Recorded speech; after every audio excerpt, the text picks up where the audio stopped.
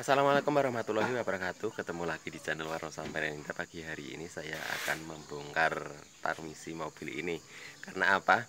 Mobil ini tidak bisa naik gunung saat saya bawa nanjak gunung ya. Jadi larinya juga enggak seperti biasanya.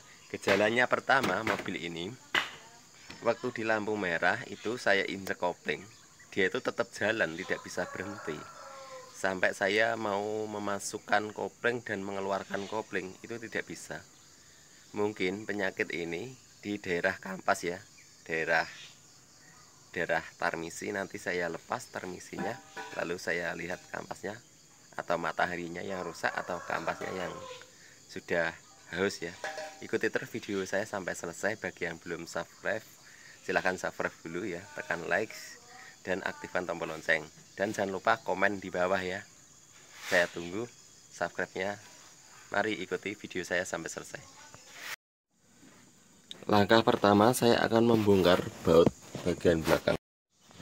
Langkah yang pertama saya akan membongkar baut bagian belakang di sini ya. Ini saya lepas dulu yang baut jalur gardan di sini saya lepas dulu pakai kunci 14 ya. Dan di sini sudah saya sediakan kunci 14 kita lepas ini sudah saya lepas ya. Dan sebelahnya sana belum saya lepas lagi ya. Ini tadi ya sudah saya lepas. Dan jangan lupa kabel dilepas dulu ya sebelum kita menurunkan permis ini. Lalu kabel ground yang ada di sini tadi sudah saya lepas tapi nggak tahu tadi tak taruh sama. Nah ini kabel keren tadi di sini. Sini ya kita lepas dulu. Dan saya perhatikan di sini memang sudah bocor parah.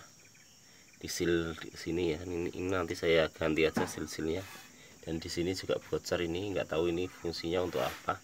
Saya sendiri ini bukan bengkel ya cuman saya itu mau belajar mobil saya sendiri nih. Mau saya oprek-oprek. Dan di sini banyak oli. Banyak oli yang anu ya nempel di dindingnya.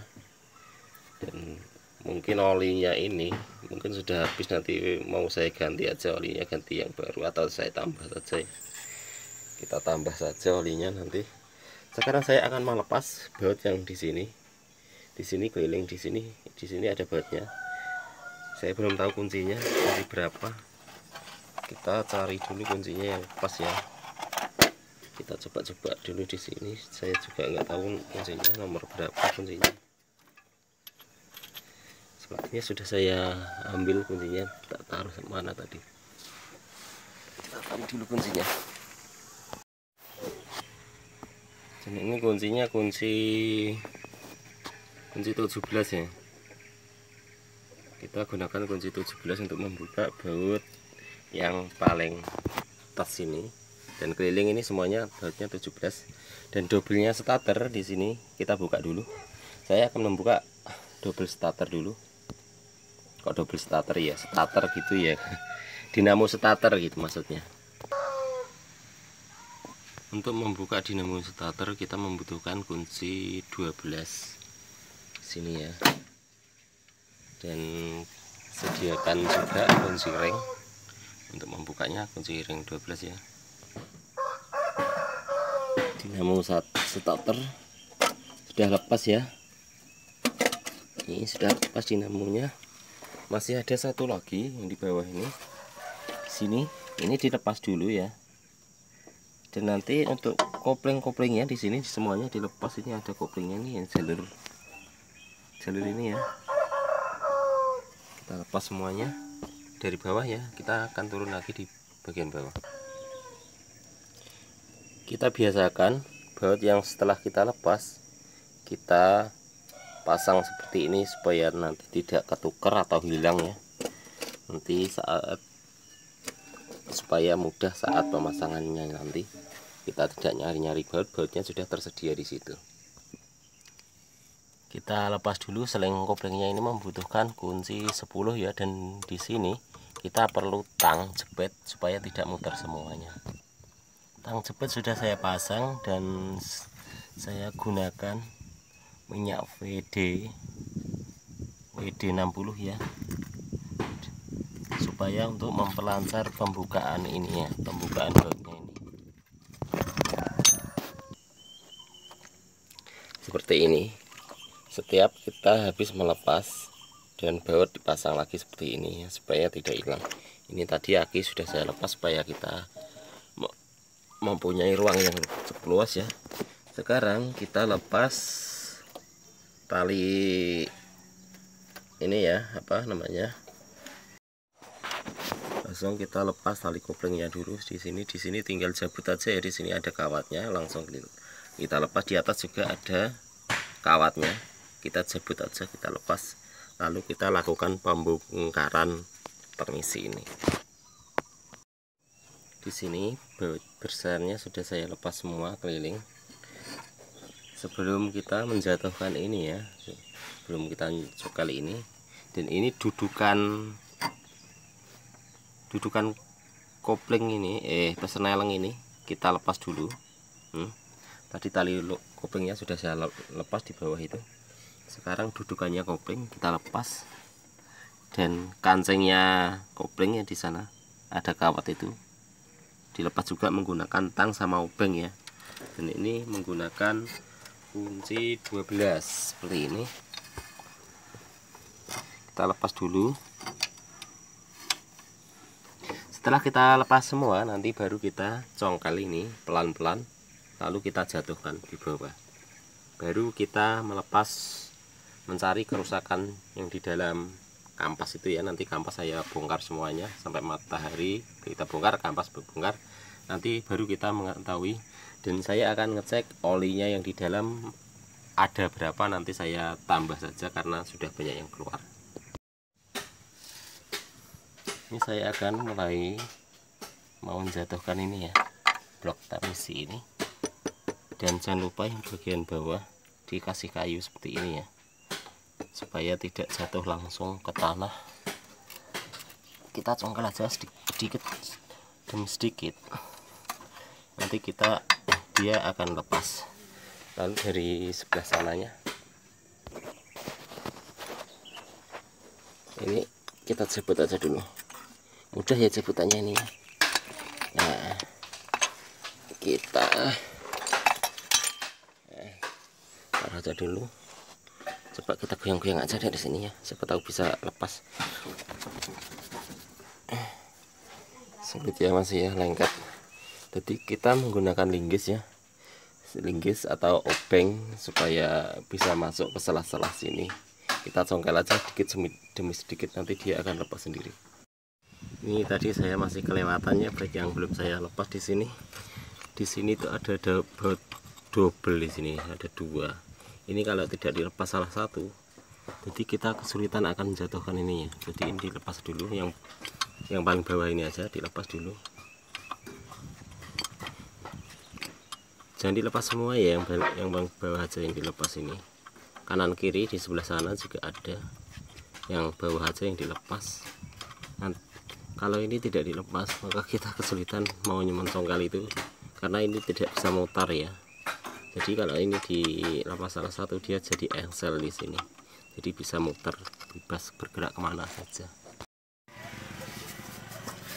Ini sudah jatuh ya. Sudah berhasil menurunkan blok transmisi ya. Mau saya tarik dulu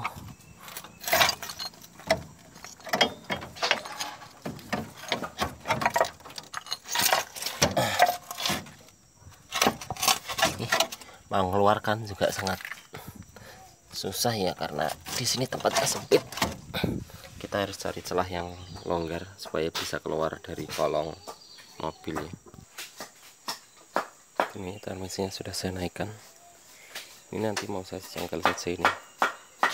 Sil yang ada di sini ini sudah bocor. Dan nanti saya tumpah aja olinya di sini masih ada berapa nanti kalau memang sudah habis saya ganti yang baru aja olinya. Dan di sini di sini ada klaker. Di di sini nanti juga saya lepas saya ganti saja yang baru. Mumpung kita lepas semuanya diganti ya. Dan saya akan mencoba membuka matahari yang ada di situ. Saya bongkar dulu. Di sini saya akan membuka matahari ini dengan memakai kunci 12 ya.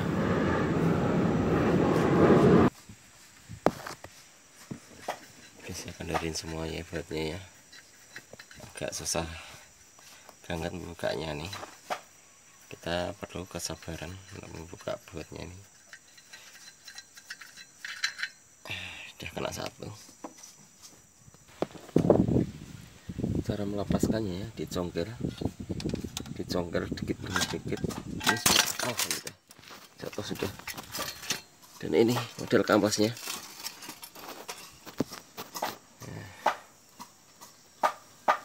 Mau langsung saya ganti saja nih kampasnya.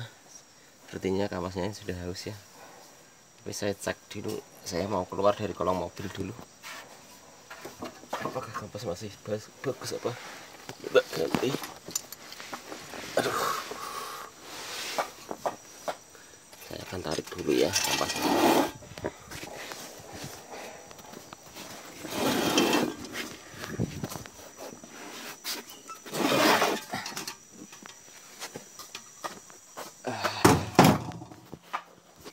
ini guys kampasnya sudah keluar guys. Ternyata memang kampasnya habis ya guys ya. Ini tinggal besinya. Nanti saya akan belikan dulu ya kampasnya yang baru ini sudah nggak ada kampasnya guys. Tinggal besinya pantesan. Mobil ini saat di lampu merah saya injek kopling. Dia dia masih berjalan masalahnya ini. Kampasnya sudah habis guys. Jadi dia sudah bisa, tidak bisa manjat di sini. Sebetulnya itu mesinnya itu tetap mutar guys. Cuman karena dia nggak bisa manjat ya.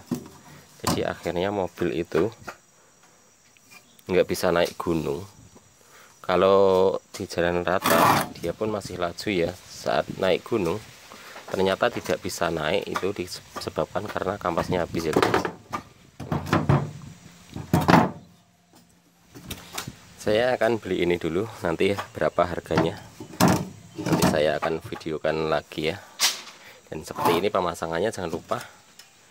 Dan ini yang menonjol ini masuk di bawah, dalam sini ya. Dan ini matahari juga sudah luka. Nanti saya akan beli berapa harganya. Apabila nanti uang saya cukup mau saya ganti sekalian sama mataharinya ya. ini sudah sudah luka ya. Jadi sekalian semuanya diganti. Ini nanti juga diganti. Dan saya juga mau ganti silnya ini ya sama membelikan olinya nih olinya ini apa ini nanti yang cocok untuk ganti olinya ini dan terima kasih dulu guys dan seperti itu cara pelepasan blok transmisi dan melepas kampas kampas kopling ya guys ya dan terima kasih dulu yang sudah menonton channel Warna Samarinda. Jangan lupa like, subscribe, dan aktifkan tombol lonceng ya. Dan apabila ada teman yang mau bertanya silahkan komentar di kolom komentar bawah ya. Dan terima kasih yang sudah menonton. Wassalamualaikum warahmatullahi wabarakatuh.